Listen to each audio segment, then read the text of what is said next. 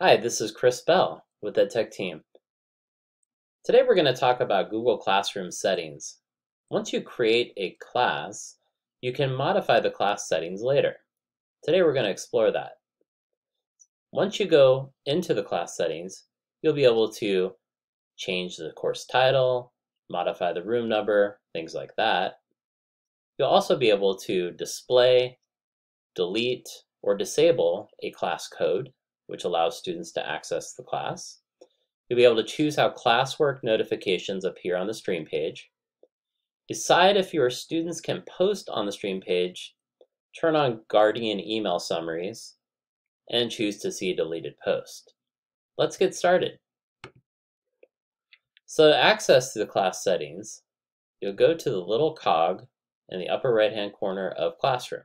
Once again, you have to be in classroom.google.com and access an individual course. That will open up the details here. So here I can modify any of these individual things.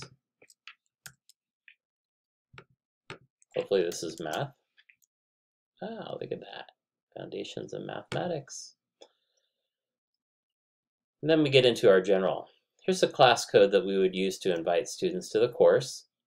You've seen this in another video. I could click here, display it for my students to view, push it out so that it's only the thing that they can see. I can copy it, put it somewhere else, like a syllabus or other things. I could reset the code, and it changes it, or I can disable it, because then I don't want to allow any other students to join my class. For the stream, which is on our primary home page, I can choose what students are able to do. Students can post and comment, so they could ask questions there and comment back. Students can only comment, or only teachers can post or comment. I'm big on allowing students to be able to connect with one another, so I want them to be able to post and comment. On the classwork on the stream, I can show attachments and details, I could show condensed notifications, which would be a shortened version of an assignment that's posted. Or I could hide all notifications of classwork and only have student questions in the stream. I'm big on showing condensed notifications. And then I could show deleted items in this in this class, but that would only be visible to myself. It's useful if I deleted something and maybe want to refer back to it later. For the grading side of, of your course, you can set your grade calculations. Total points, weighted by category, or I could allow the students to see their overall grade.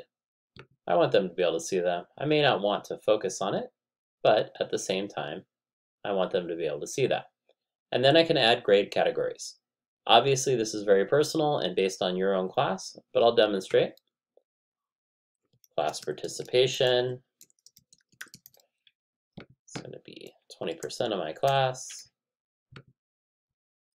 Uh, quizzes or formative assessments, depending on how I'm approaching it, might be worth 15. Homework might be worth 5. Shall up my class percentage.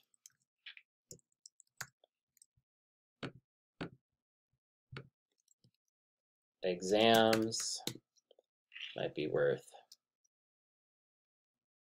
30%. Final exam be worth 10%. And attitude worth 10%. Obviously, you set the parameters of how you, you choose to prefer in your own class. So that's it. Uh, those are the class details. I would save this, and now all of my class settings are set. Once again, you access that through the cog or the gear up here, and then you can always make modifications later. I hope this helps. Thanks for watching, and have yourself a fantastic day.